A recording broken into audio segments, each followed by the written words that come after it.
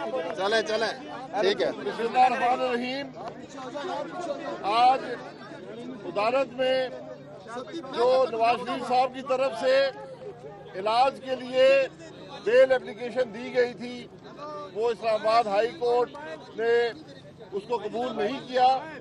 ہمیں یقیناً اس فیصلے سے مایوسی ہے، کیونکہ پانچ ڈفرینٹ میڈیکل پینلز نے بیماری کی تشخیص بھی کی اور علاج کے لیے، فوری علاج کے لیے انہوں نے ریکمنڈیشن بھی دی بہرحال، ہمیں ہمیشہ عدالتوں کے فیصلوں کا احترام رہا ہے۔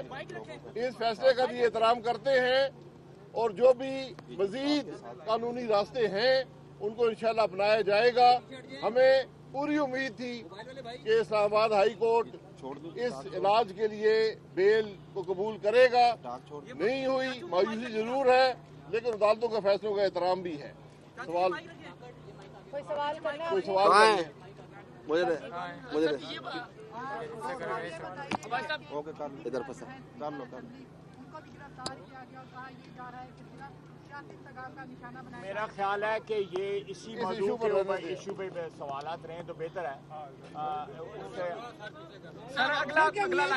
سے کھل جائیں گے۔ ہمیں جتنے قانونی راستے اویلیبل ہیں وہ ضرور ہم اپنائیں گے۔ یہ ہمارا حق ہے۔ ہم ان شاء اللہ تعالیٰ اپیل میں بھی جائیں گے اور ہمیں کبھی امید ہے کہ ہمیں ضرور انصاف ملے۔ صاحب کیا میاں صاحب کا علاج نہیں ہو رہا؟ کر جی؟ میاں صاحب کا علاج نہیں ہو رہا؟ جس ابھی انجیوگرافی نہیں ان کی ہوئی۔ جو علاج جو علاج چاہیے وہ جیل کے اندر میسر نہیں ہوتا۔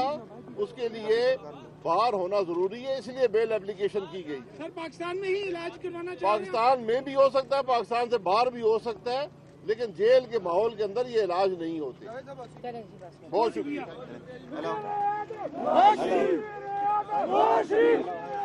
بھائی بیٹھے رہو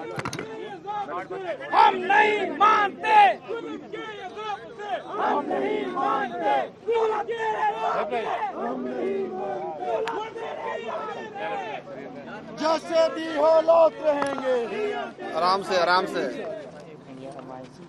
ہو گیا بس۔ بس کرو اب۔ یہ مجھے دے دو۔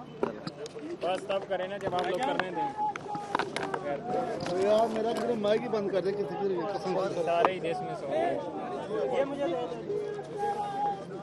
ایک سر میں مائک اٹھا لیتا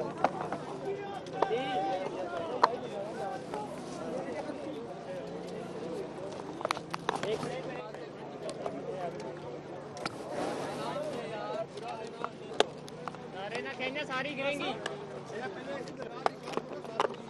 یا پھر سارے ہی ڈھونڈتے رہیں گے۔ ہاں یہ آ رہا